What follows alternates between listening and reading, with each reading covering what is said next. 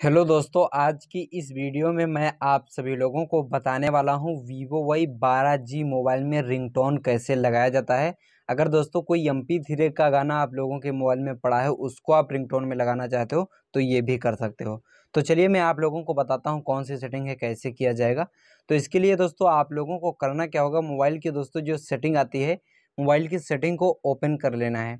Setting open होने के बाद दोस्तों यहाँ पर देखिए, साउंड का दोस्तों ऑप्शन देखने को मिल जाएगा। तो दोस्तों इस ऑप्शन पे आप लोगों को क्लिक कर देना है। क्लिक करने के बाद थोड़ा स्क्रॉल करेंगे। यहाँ पर दोस्तों देखिए, फ़ोन रिंगटोन का दोस्तों ऑप्शन दिख रहा है, इस पर आप लोगों को क्लिक कर देना है।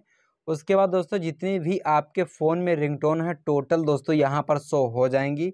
तो दोस्तों, जो रिंगटोन आप लोगों को पसंद है, उस पर आप क्लिक कर दोगे तो दोस्तों वो रिंगटोन लग जाएगी।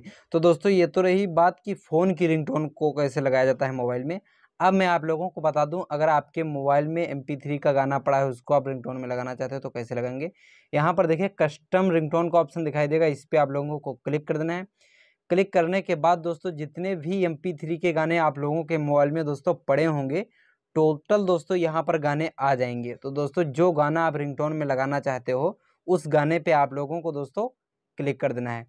क्लिक करने के बाद बैक कर देंगे। बैक करने के बाद दोस्तों, ये जो है रिंगटोन सक्सेसफुली लग चुकी है, जैसा कि दोस्तों आप देख पा रहे हो। तो इस प्रकार से आप जो है रिंगटोन को लगा सकते